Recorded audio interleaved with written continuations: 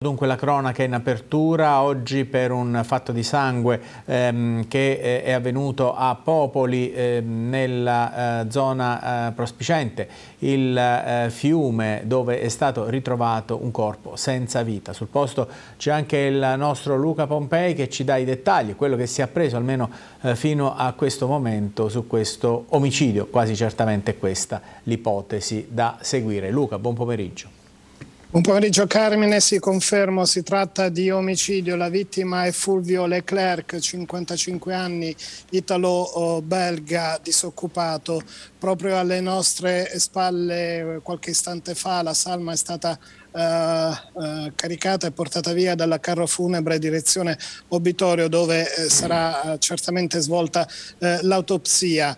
Fulvio Leclerc, dicevamo, italo-belga di 55 anni, disoccupato, um, ieri sera avrebbe avuto un uh, violento litigio con un uomo, da capire se si tratta di un semplice conoscente o di un vicino uh, di casa e la scena del crimine potrebbe essere proprio la casa dell'uomo. Infatti in questo momento, mentre vi stiamo parlando, il magistrato sta facendo un sopralluogo proprio nell'abitazione dell'uomo che Uh, abitava qui in collina, sempre in contrada De Contra. Che cosa è accaduto? È accaduto che l'omicida, dopo essersi reso conto al culmine di questa lite di aver ucciso oh, Leclerc, lo avrebbe caricato su una carriola ancora in pigiama e lo avrebbe trasportato qui sul greto del fiume per disfarsene, gettarlo nel fiume sperando nella eh, corrente che lo potesse trascinare eh, via.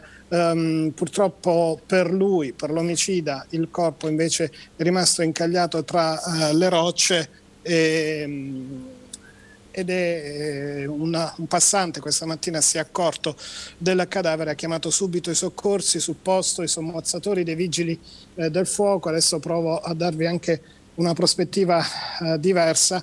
Eh, I sommozzatori dei vigili del fuoco eh, sono intervenuti, lo hanno eh, tirato via eh, dalle rocce dove il corpo appunto si era eh, incagliato e hanno aspettato l'arrivo dei carabinieri per i consueti rilievi. Adesso stiamo raggiungendo insieme al collega Claudio Lattanzio del quotidiano Il Centro proprio il punto eh, esatto in cui eh, è stata eh, depositata la salma dell'uomo eh, con, eh, vedete ancora i nastri bianchi e rossi, eh, qui la scena si è Uh, ovviamente spopolata um, con il carro funebre che sta uh, già andando via, ci stanno dicendo comunque di allontanarci. In ogni caso, uh, Carmine, l'uomo questo conoscente o vicino di casa, insomma ancora da capire, eh, è attualmente eh, ricercato.